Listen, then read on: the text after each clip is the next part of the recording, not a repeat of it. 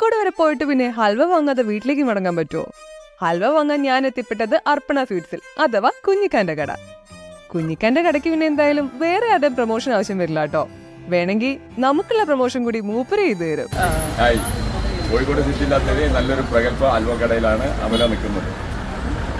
കാന്താരി ഹൽവ മുതൽ ലക്ഷദ്വീപ് ഹൽവ വരെ ഒരു കുന്നോളം ഹൽവ വെറൈറ്റീസ് ഉണ്ട് അവിടെ. ഹൽവ വെറുതെ കണ്ടിഷ്ടപ്പെട്ടിട്ടൊന്നും വാങ്ങണ്ട. കഴിച്ചിഷ്ടപ്പെട്ടിട്ട് മാത്രം വാങ്ങിയാൽ മതി. ഒരല്പം സംസാരപ്രിയം കൂടിയായ കുഞ്ഞിക്ക നമ്മൾ ഹൽവ കഴിപ്പിക്കാൻ തുടങ്ങിയ പിന്നെ ഒരു ബിരിയാണി കഴിക്കാനുള്ള പകുതി വയറ് അവിടെ ഇളനീര്? അറേബ്യൻ? സ്ട്രോബെറി ബദാമൊക്കെ ബീറ്റ് എനിക്ക് ഏറ്റവും ഇഷ്ടമായത് അറേബ്യൻ ഡ്രൈ ഫ്രൂട്ട്സ് ഹൽവയും ബീറ്റ് ഹൽവയും പിന്നെ ഇളനീർ ഹൽവയായിരുന്നു. അതുകൊണ്ട് തന്നെ എല്ലാം മിക്സ് ചെയ്ത് അങ്ങ് പാക്ക് ആക്കിച്ചു. ഉണങ്ങിയ വാഴയിലെ ചുരുട്ടി വെച്ച സാധനം കൗതുകം കൊണ്ട് എന്താണെന്ന് അന്വേഷിച്ചപ്പോഴാണ് അതാണ് ലക്ഷദ്വീപ് ഹൽവ എന്ന് മനസ്സിലായത്. കഴിച്ചു നോക്കിയപ്പോൾ എന്താ നമ്മുടെ തനി തേങ്ങ മിഠായി. അതിന്റെ ഇടയ്ക്ക് ഇത് ലക്ഷദ്വീപിൽ നിന്ന് ഉണ്ടാക്കി കൊണ്ടുവന്ന ഒരു ഐറ്റം ആണെന്ന് കുഞ്ഞിക്കൊരു തള്ളു തള്ളിയിരുന്നു കേട്ടോ. എന്തായാലും കുഞ്ഞിക്കയും കുഞ്ഞിക്കന്റെ ഹൽവ കടയും എനിക്ക് നന്നായിട്ട് ഇഷ്ടപ്പെട്ടു.